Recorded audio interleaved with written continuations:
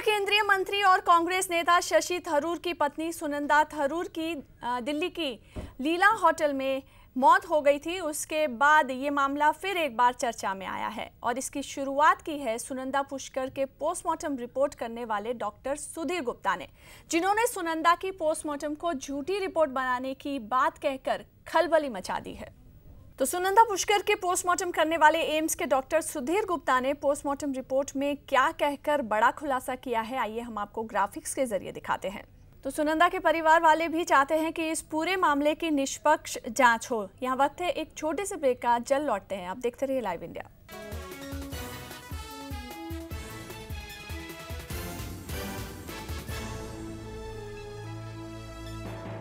Break के बाद स्वागत है खबरों में आगे बढ़ते हैं। आज नरेंद्र मोदी कैबिनेट की बैठक करने जा रहे हैं।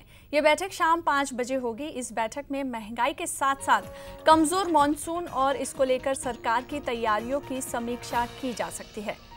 लगातार बढ़ती महँगाई की वजह से विपक्ष के साथ ही आम लोगों में भी नाराज़गी बढ़ती जा रही है, जिसका समाधान खोजने की इस बैठक में कोशिश होगी।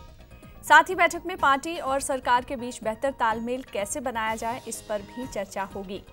तो महँगाई के इस दौर में आम इंसान को हर मोर्चे पर निराशा ही मिल रही है। सब्जियों के दाम आसमान छू रहे हैं और तेल की कीमतों में भी आग लगी हुई है और अब ये खबर है कि इस महीने की महँगाई दर भी छः फ़ीसदी से ज़्यादा रह सकती है। मतलब महँगाई के हर मोर्चे पर आफत आम इंसान के लिए खड़ी हुई है।